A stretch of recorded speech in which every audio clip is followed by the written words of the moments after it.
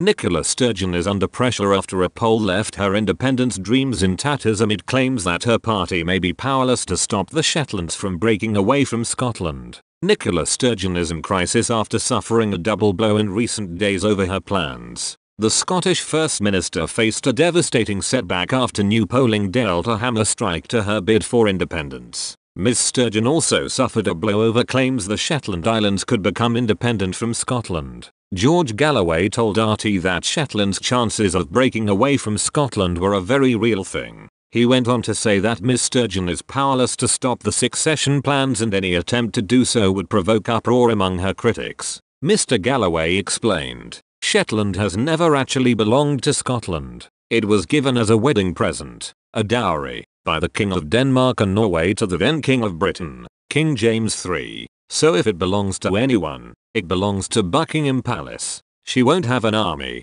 a navy or an air force so she can't do a blind thing about it even if politically, morally, or intellectually there was any case for doing so. The RT host pointed out, it would be strange to refuse a demand for self-determination when it is everything her political party is about. Mr. Galloway agreed, adding, Actually one of the SNP MPs Angus MacNeil has already stated that if the Shetlanders want to leave, they can go. It was 18 votes to 2 in the council. Orkney quickly followed suit. I think it's a very real thing. He went on to discuss the turning tide against independence in Scotland, pointing to recent devastating poll numbers for the SNP. Mr. Galloway said, the latest polls show a complete reversal of the independence trend. It all depends on the question you ask 56% of people said they want to remain in the UK. Two thirds told the Daily Record that an independence referendum is not a priority. The new polling, conducted by the Unionist Scotland in Union Campaign Group,